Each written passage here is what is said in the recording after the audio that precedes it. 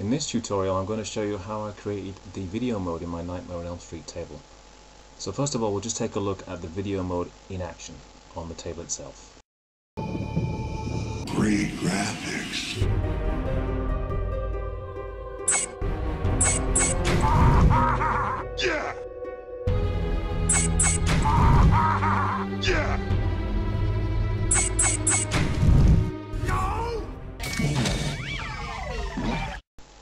Okay, so to create uh, that DMD animation, uh, the video mode, I have to first of all create the images themselves. So I go back into my uh, desktop publisher, the same piece of software that I used to create DMD animations in my other tutorial.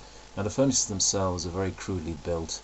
They have to be quite simple to show up on the DMD, so don't do anything too elaborate. So it's just lines for the grill, the word furnace, and a handle for the door. So it's a very simple uh, drawing of a furnace.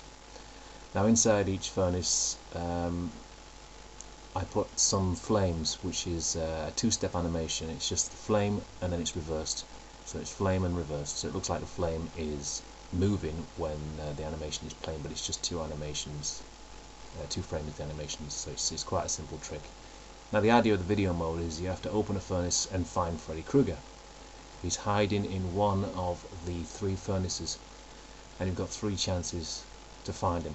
If you find him all three times, you get a, a bonus for finding him three times, but that's very difficult to do. He's hiding in one of them.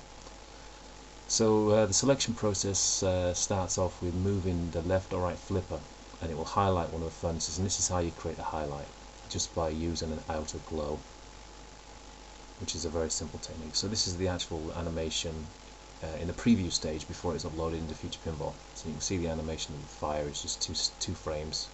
It's very effective and then you just put Freddy in there uh, with the flames behind him when you find him. And uh, once you're happy with this uh, animation you just upload the whole thing into Future Pinball and then you have to do the scripting which I will show you at a later date.